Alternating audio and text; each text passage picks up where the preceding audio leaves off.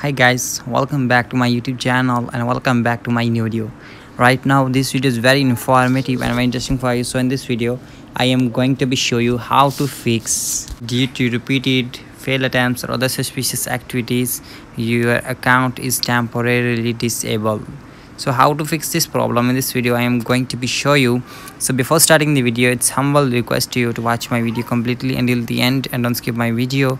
And if you are new in my channel so please subscribe my youtube channel and also leave like and comments on my video and press on the bell icon option for many videos. So guys here you can see i have snapchat and you can see here due to repeated attempts or other suspicious activities your access to snapchat is temporarily disabled I want to put password and when I tap on the continue option then I will face this error due to repeated attempts or the suspicious activities.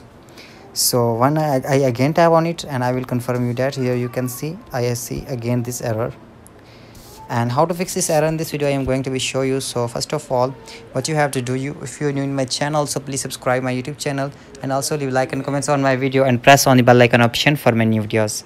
So without wasting any time let's continue the video. So first of all what you have to do here open your app store. And here on the top you have to search for snapchat. And here you have to search snapchat and after search the snapchat app and here check that if your update is required so you have to update your snapchat app first. And when you update your snapchat app first then your problem will be fixed. So here you can see i i have no update options and uh, update option is not required here so i have don't have to update my snapchat app. So if you have update required so you have to update your snapchat app first. So guys this is the first method and here I am going to be telling you the second method which can solve your problem easily. So for second method what you have to do here you have to open your setting app. And guys when you open your setting app then what you have to do here so here you can see general options. So you have to simply type on the general options. And then after you have to type on the iphone storage option. So here you can see iphone storage option. So you have to simply type on it.